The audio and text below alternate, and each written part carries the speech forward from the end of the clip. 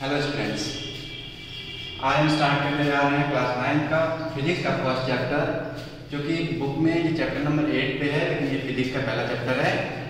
इसका नाम है मोशन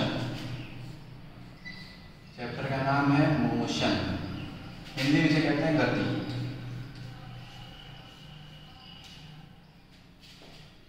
अब सबसे पहले बात करते हैं इसके अंतर्गत। सबसे पहले हम इसके अंदर बात करेंगे स्केलर क्वांटिटीज की और वेक्टर क्वांटिटीज की। वेक्टर क्वांटिटीज क्या होती है? Vector quantities vector quantities Hindi में कहते हैं सदिश राशियाँ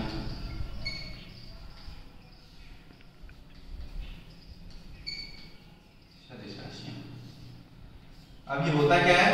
वेक्टर क्वांटिटीज वे क्वांटिटीज होती हैं जिनमें बस मैग्नीट्यूड जिनमें मैग्नीट्यूड और डायरेक्शन दोनों होता है।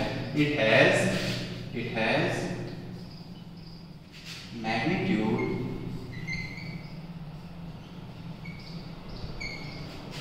and direction मतलब सदिश राशियों में परिमाण और दिशा दोनों होती है। ठीक है?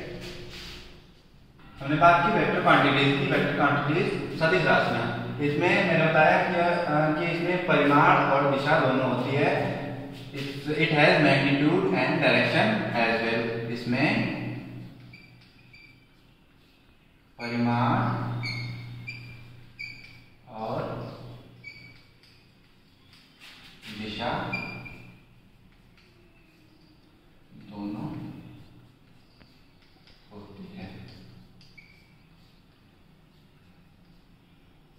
जैसे हम इस इसका एग्जांपल लेते हैं तो जैसे आप किसी अपने फ्रेंड से बोल रहे हैं कि, दरवाज़ा खोलने के लिए आपने बोला तो आपने उससे बोला कि दरवाजे को 10 न्यूटन का फोर्स लगा के दरवाजे को ओपन करो, दरवाजे को खोलो। तो अगर आपने उससे ये बोला कि 10 न्यूटन का फोर्स लगा के दरवाजे को खोलो तो आपने बस उसका मैग्नीट्यूड बताया। ठीक है? मैग्नीट्यूड इन द कि आपने 10 न्यूटन बोल दिया, उसमें उसका मैग्नीट्यूड हो गया।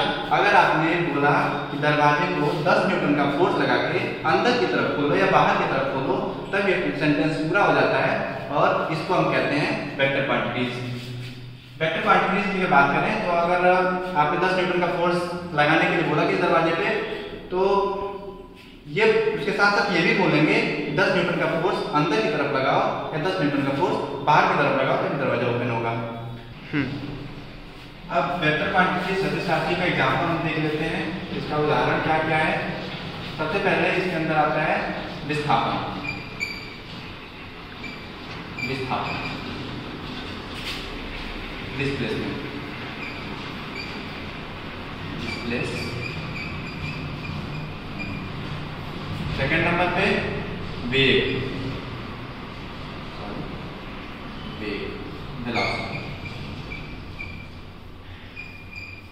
थर्ड हो जाएगा तो कहते हैं संवेग। मोमेंटम फिर आता है बल। बल। फोर्स ये एग्जांपल होते हैं वेक्टर क्वांटिटीज के सदिश राशियों के।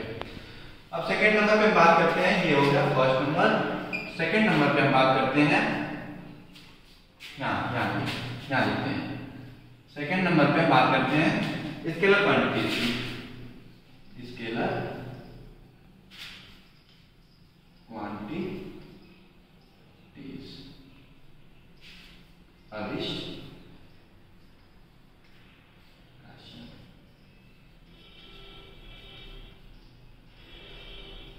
इसे हम कंपेयर करें सदिश राशियाँ और अदिश राशियों से।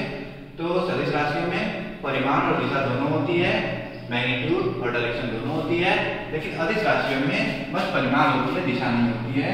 It has only magnitude it has only magnitude इसमें बस सिर्फ़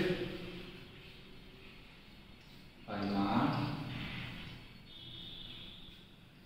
होता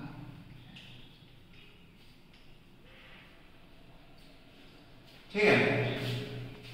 अब इसके एग्ज़ाम्पल की बात करते हैं। तो एग्ज़ाम्पल में हम देखेंगे कि जैसे हमने कहा, कोई बुक है, कोई बुक का वेट हमने बता दिया। इसका द्रव्यमान, इसका मास पचास ग्राम है। तो हमने इसमें पूरी बात कह दी। पचास ग्राम, अगर द्रव्यमान हमने बता दिया तो इसमें हमने पूरी बात कर दी, क्योंकि द्रव्यमान एक अधिक राशि है स्केलर क्वांटिटी ही है। अगर पचास ग्राम का द्रव्यमान हमने बोल दिया तो वो राशि हो गई। जैसे हमने बोला कि कोई बच्चा अपने घर से चला और दो किलोमीटर में उसका स्कूल आया तो घर से दो किलोमीटर चल के स्कूल पहुँच गया। तो हमने ये पूरी बात बोल दी। अगर अधिक राशियों के संदर्भ में बात करें तो हमने इसमें पूरी बात बोल दी कि घर से दो किलोमीटर चल के स्कूल पहुँच गया। ठीक है? इसमें दिशा की कोई बात नहीं होती है।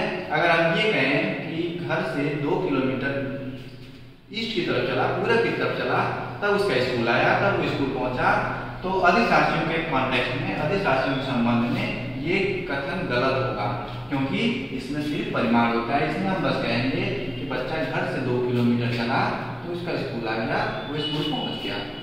ठीक है? ठीक है? देखिए, अब अधिक राशियों की एग्ज़ाम्पल की बात कर लेते हैं हम। एग्ज़ाम्पल में इसका उदाहरण क्या क्या हो जाएगा? सबसे पहले बात करेंगे द्रव्यमान की, इसके अंतर्गत द्रव्यमान मास जैसे हमारे पास ये चौक है, अगर हम करके को कहें, चौक का द्रव्यमान पाँच ग्राम है तो ये अधिक राशियों में ये आ जाएगा, ठीक है? दूसरे नंबर पे आ जाएगा दूरी। डिस्टेंस डिस्टेंस हमने आपको एग्ज़ाम्पल बताया कि बच्चा घर से दो किलोमीटर चल के स्कूल पहुँच गया। तो के कॉन्टेक्स्ट में ये बात बिल्कुल फिट बैठती है ये राशियों में आ, आ जाएगा फिर तीसरे नंबर पे समय। समय। टाइम अब इसमें कोई दिशा की बात ही नहीं होनी है। अगर हम इसका एग्ज़ाम्पल है टाइम का तो इसमें कोई दिशा की बात ही नहीं होनी है। जैसे मैंने कह दिया कि मैं दो घंटे फ्री हूँ दो घंटे मेरे पास खाली समय है तो इसमें दिशा की कोई बात ही नहीं है। दो घंटे फ्री हूँ तो हूँ ठीक है? ये सारे एग्ज़ाम्पल होते हैं, एक आता है आयतन आयतन वॉल्यूम हाँ फिर होता है दाब।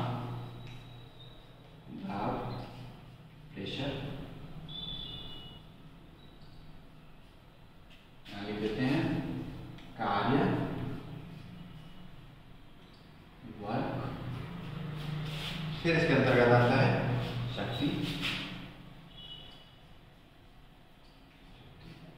पोटेंशियल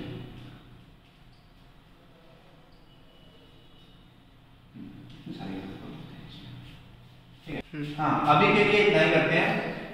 हाँ उसमें अगर आपको और भी टॉपिक्स पढ़ने होंगे तो आप हमें कमेंट सेक्शन में बताइएगा। फिर उसके बाद जो भी टॉपिक आपको पढ़ने होंगे हम उसका वीडियो बना के अपने चैनल पर अपलोड करेंगे फिर आप उसे देख सकते हैं। उसे पढ़ सकते हैं।